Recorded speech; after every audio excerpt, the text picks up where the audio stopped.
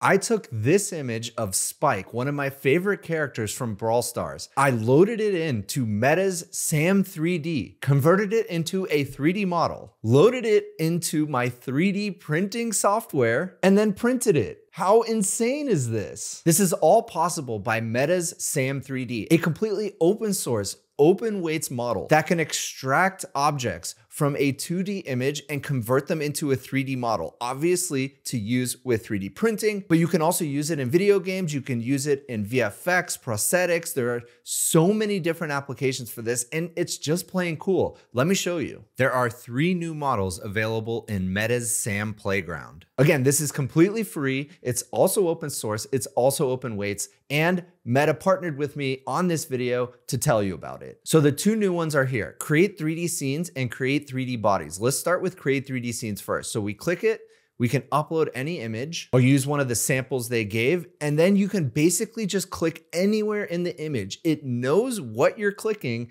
and it will highlight it to then extract into a 3D model. Watch this. So let's say we want this speaker. I just click it, it takes a second, highlights the whole thing, and then we click generate 3D and then it starts to generate the 3D model. Look how cool it is. Now we have this 3D model of this speaker from the 2D image. And we can do other things too. If we click here, we can get the record player. Now, as you can see, it only highlighted the bottom of the record player. So we're gonna do two things. First, go to remove, and we're gonna remove the old one. Then we're going to add, and we're going to click the glass on top to make sure we get that glass as part of the overall 3D image. Then again, we just click generate 3D image. It is dead simple. Unbelievable. Look how cool that is. All right, so now we have this 3D model. We can click download and you have two formats, PLY and GLB. What I did to load it into the 3D printer was I downloaded it in GLB format and then I converted it to STL. If you don't know what any of this is, don't worry about it. It's all from 3D printing. But again, you could do anything with this. You can load it into Blender, for example, and you could add to it. You can sharpen it. You can change it. They have a bunch of manual controls down here. You can scale it. You can rotate it. You can move it, regenerate, and then you can click this add effects button. So there are a number of different effects that you can choose from. First, 3D effects.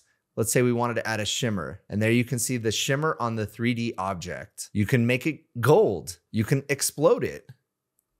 All of these are cool little tricks that you can do with 3D model once you've generated it. You can also change the style of the model. So here, let's change it into toon And you can see it's kind of like cel shaded slightly. And yeah, it looks really cool. We have hand drawn, edge detection, pixelate it, and then they have a bunch of visual filters, rain, snow, fireflies. Then Meta SAM 3D also has this create 3D bodies feature, which is incredibly cool. And I didn't think it was actually going to work as well as it did. Watch this. All right, so here's a picture of two guys doing jujitsu, and it will actually understand where each of their body parts are in this very complex image. So watch how cool this is. So I'm going to load it up. Okay, searching for people. So there it highlighted one guy, and you can see it's highlighted in blue and you can actually see his foot all the way over there. And then the other guy is in pink. And then we generate all people.